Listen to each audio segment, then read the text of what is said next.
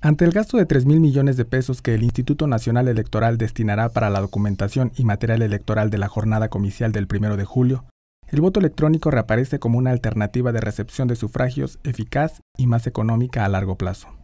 Utilizado anteriormente en elecciones locales de Coahuila en 2005, 2008 y 2009, en Jalisco en 2009 y 2012 y en la Ciudad de México en 2009, el también llamado e-voting comprobó, entre otras cuestiones, que facilita la votación, agiliza el cómputo y la publicación de resultados.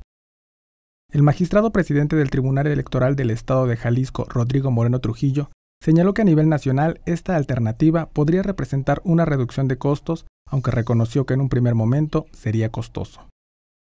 El encargado de la unidad informática del Instituto Electoral y de Participación Ciudadana de Jalisco, Ramiro Garzón Contreras, afirmó que después de dos prototipos en el 2012, desarrollaron una urna electrónica que costó 1.200 dólares.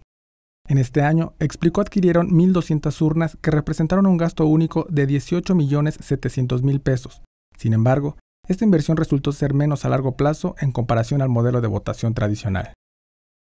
Para este proceso electoral 2017-2018, el INE instalará en 30 unidades federativas 156.000 casillas que contendrán materiales y documentación electoral, cuyo costo será de 3 millones de pesos sin contar el gasto de capacitación a funcionarios y del traslado de los paquetes electorales.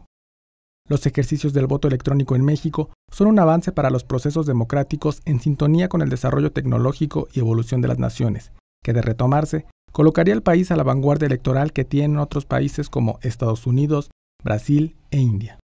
Con información de Ashley Espinosa y Gerardo Avendaño, Notimex.